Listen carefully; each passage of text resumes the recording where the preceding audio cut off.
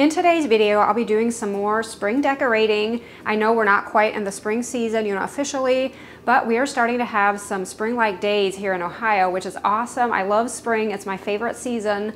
And I'm gonna take you outside before we start decorating and just kind of show you what it sounds like. Like the birds are starting to sing more in the morning and it's just uh, so cheerful.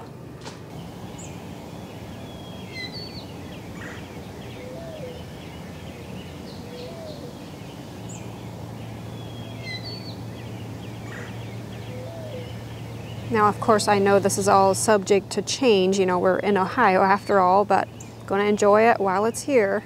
The first thing I'll be working on is this picture frame I picked up in a thrift store. I'm going to be removing all of the backing, the mats, and the picture in it. And you guys know me, when I decorate for the different seasons, I really like to use things I already have on hand or a good thrift store bargain, which is the case here. And what attracted me to this frame was, or to this picture, was the frame. I really, I kind of like the color of it, although I plan to lighten it up. And I like the size of it. I want something to hang above the sofa, and I really wanted to fill up that space. And this is a pretty good size frame. And the price was right for me, so I grabbed it, and now I'm glad I did. It's been a while that I've had it.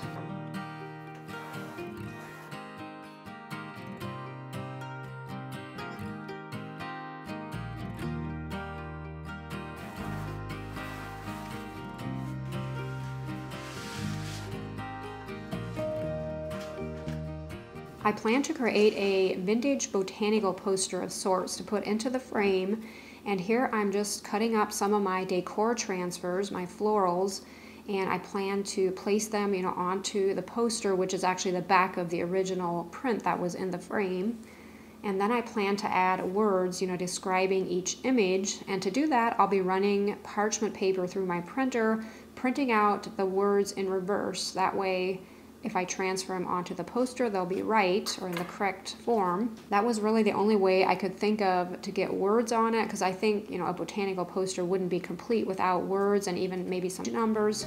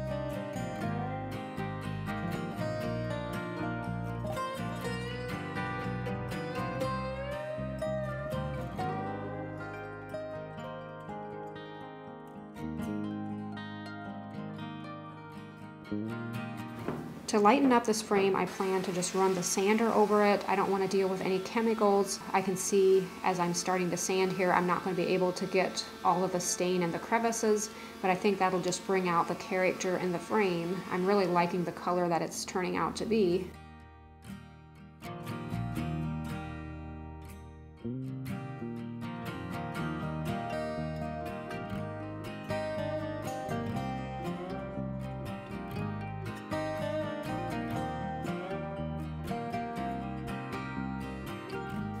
Were three mats in this frame and I plan to use one of them to frame my poster and I'm going to paint it. I'm going to try to match it as close as I can to the color of the poster.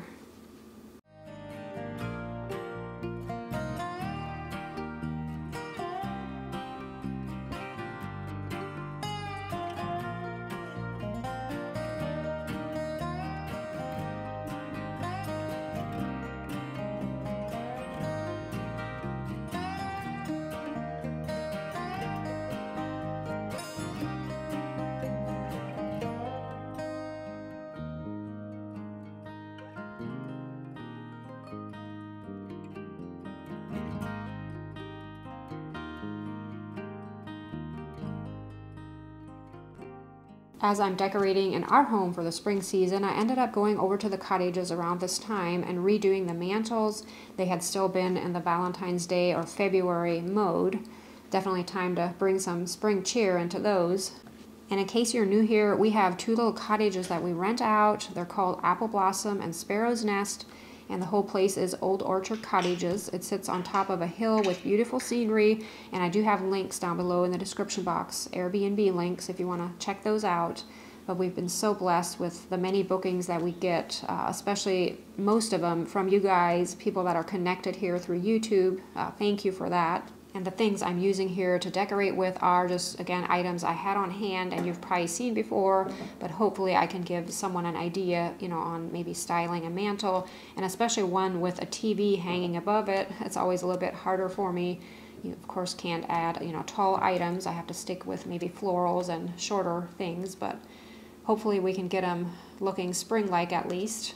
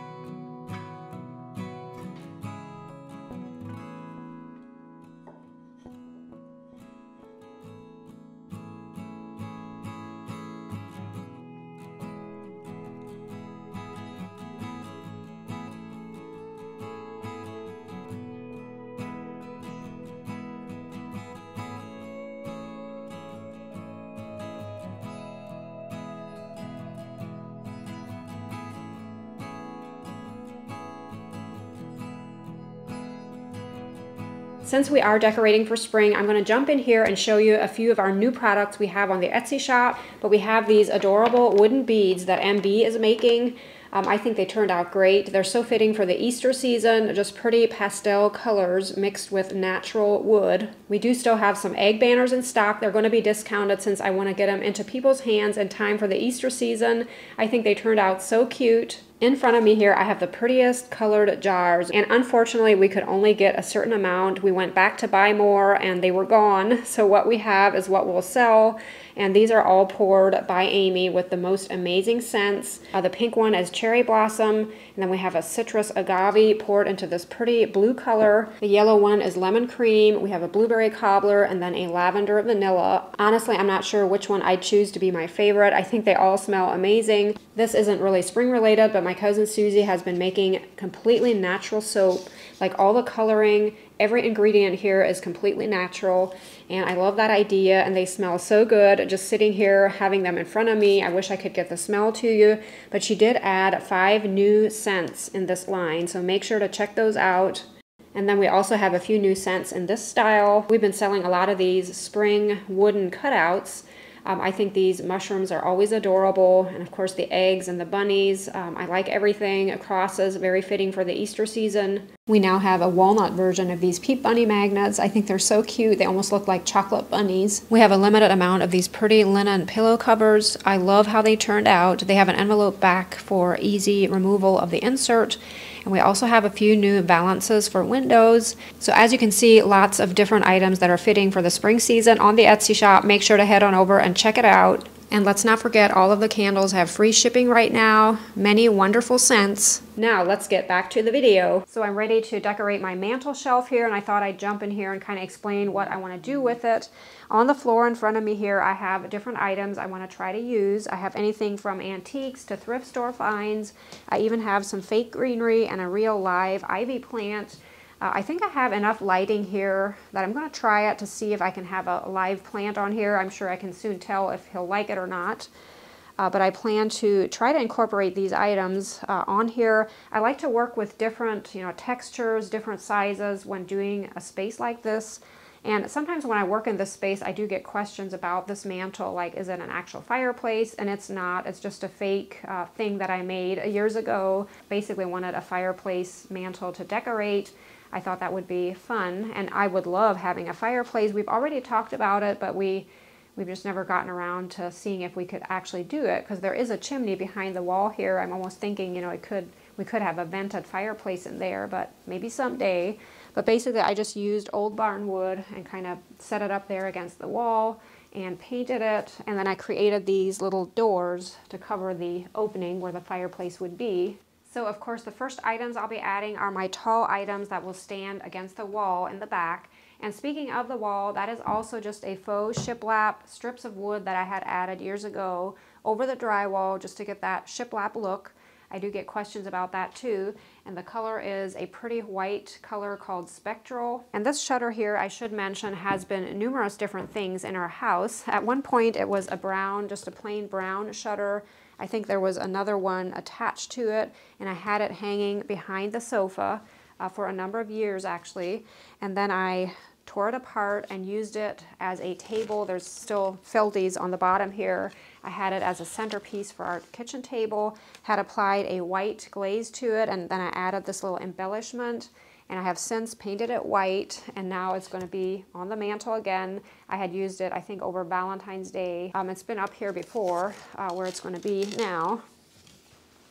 And this door I picked up in an antique mall. I thought it's so pretty. It has some cracks over it, and then this glass knob really caught my eye. I love antique pieces like this. And you probably remember seeing this frame in a recent video. I had picked it up in a thrift store. So the next items here are thrift store finds, and I didn't get a video of this, but this greenery was twice as big and it was embedded into a cement pot. I actually ended up cutting cutting it out like with a saw. I couldn't, you know, pull it out. But I do want the challenge of trying to make it look a little more real. Um, you know, we like our fake greenery to look real, right?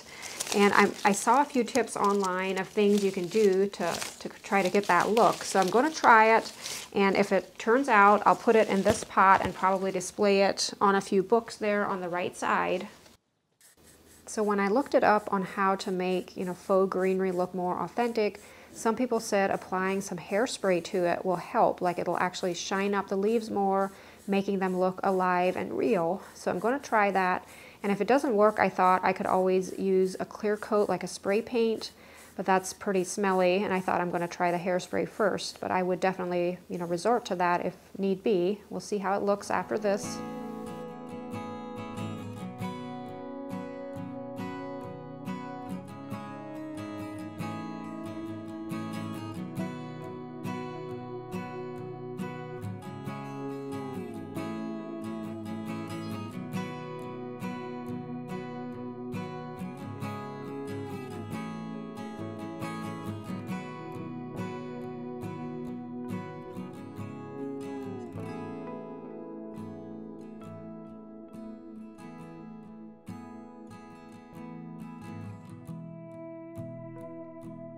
I've had this fan for years and I often don't use it because it isn't quite the right color to fit with our home. I think it would look better if it was like an off-white or a white. So I'm going to remove the base here and see if I can clean it up a bit and spray paint it with a white paint.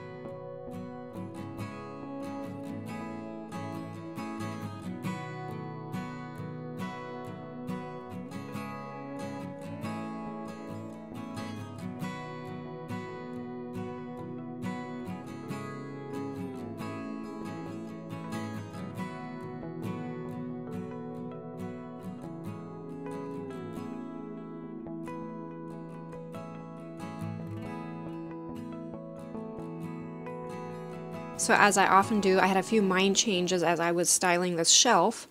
I decided the door needed some words on it. I'm going to use some decor transfers and I also ended up removing the little topiary tree on the left side. I was to Swiss Country Lawn and Crafts. I had a gift card that my parents had given me for Christmas. It is local to our area and I've never been there. This was the first time and I can't believe I've never stopped in before this.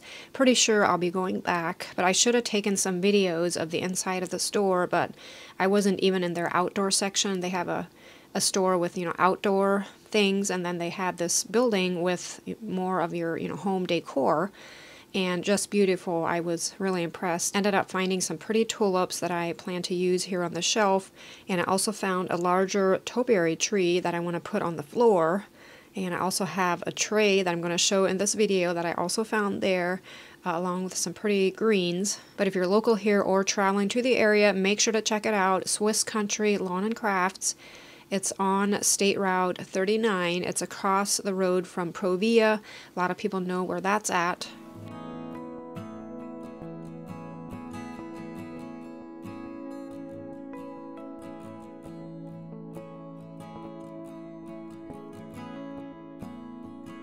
I'm not sure that I ever showed this cute little antique stand that I picked up in one of our local antique malls.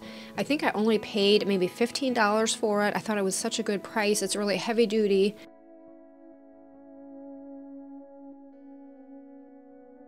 So here's the part in the video where I'm going to paint chocolate.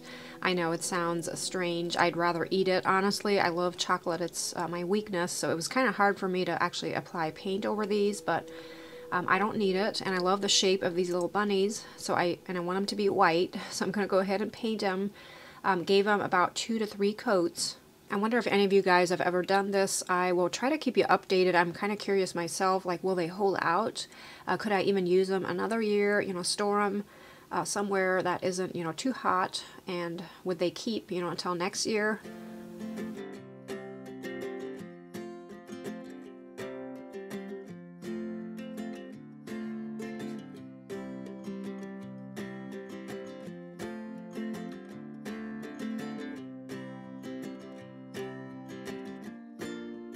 Course this grouping isn't complete without a candle. This one is Lilac Blossoms. It smells so good. I can't wait to actually smell these on the outside soon, hopefully. So I want to have a light hanging above the sofa again.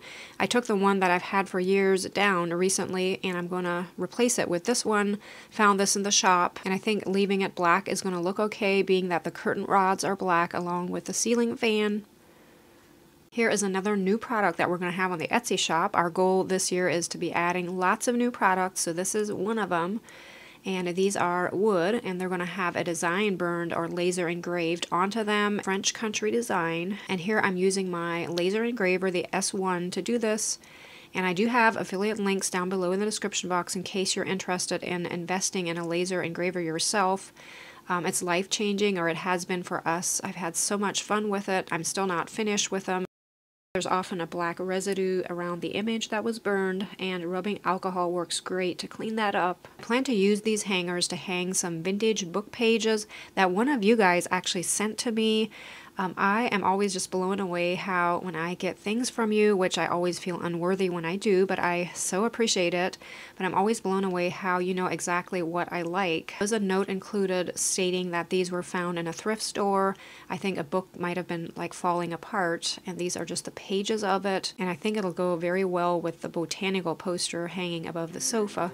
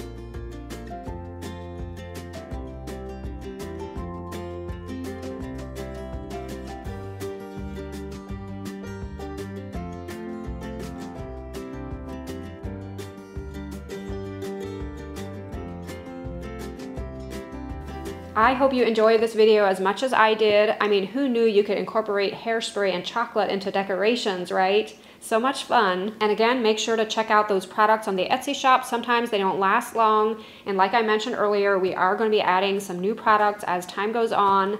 And I'll be talking a lot about them in my videos. As always, I hope your day is going great. Thanks for watching and I'll see you in the next video. Bye.